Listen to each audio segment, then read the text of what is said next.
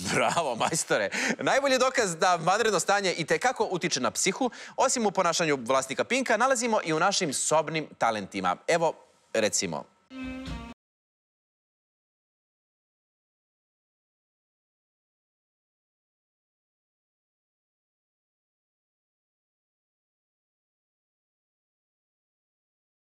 pričam i to je ono što me brine. I zato razgovaramo sa psihološkinjom Kajom Damjanović. Kajo, dobro veče. Od čega danas čovek može najlakše da flipne? Mm, dobro večer, Zorane. Pretpostavljam da se vaše pitanje odnosi na trenutne okolnosti u kojima se nalazimo i na to kako one utiču na naše mentalno zdravlje i na našu psihu.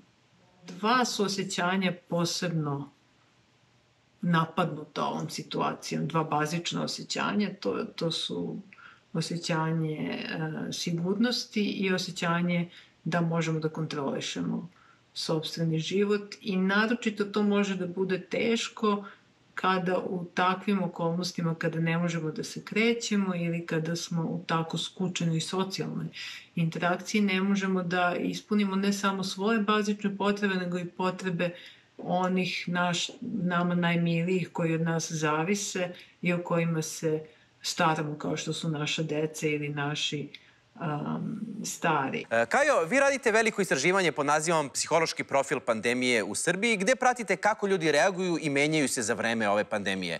E, jeste to istraživanje imali već spremno u fioci, pa ste samo čekali da izbije neka pandemija ili... Da, svaki psiholog koji drži do sebe ima pripremljeno istraživanje. Mi smo odgovorna struka i imamo već sada niz pripremljenih istraživanja za glad, rat, građanski rat, globalno zagrevanje, ukidanje zdravstvenog osiguranja, ukidanje prosvete, savjetovanje radnika da nosi pelene i isušivanje reka.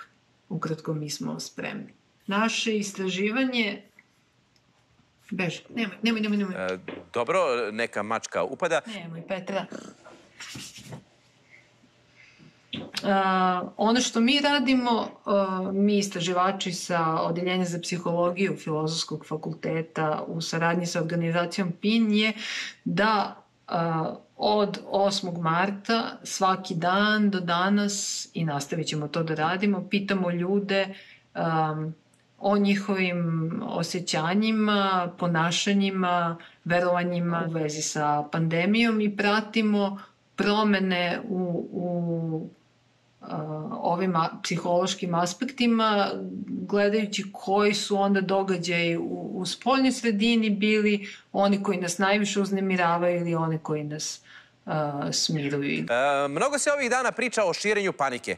E, sećamo se onog čuvenog SMS-a kriznog štaba. Evo i doktor Kon, vrhunski stručnjak, se nedavno pokolebao i to zbog društvenih mreža.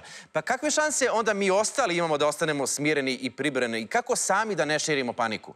Društvene mreže zaista jesu stresna mesta, naročito sada kada je to jedini javni prostor koji nam je ostao na raspolaganju i, i koji izgleda tako kao da se da smo stalno u nekom a, a, prenatrpanom autobusu kome se svi nadvikuju i raspravljaju i, i svađaju. Objašnjenje za taj čuveni SMS je bilo stručno objašnjenje da a, ne može to da uplaši ljude zato što ljudi ne mogu da se plaše onoga što već znaju i to je naravno um, psihološki neutemeljeno. Najveća uznemirenost je bila 17. marta kada je uveden policijski čas. To je strašno uznemirilo. Uh, ljude. Najveći strah je bio u periodu između 22. i 24. marta kada je produžen policijski čas. I jedno i drugo je bilo praćeno povišenim osjećanjem bespomoćnosti. Dakle, to je baš obhrvalo ljude.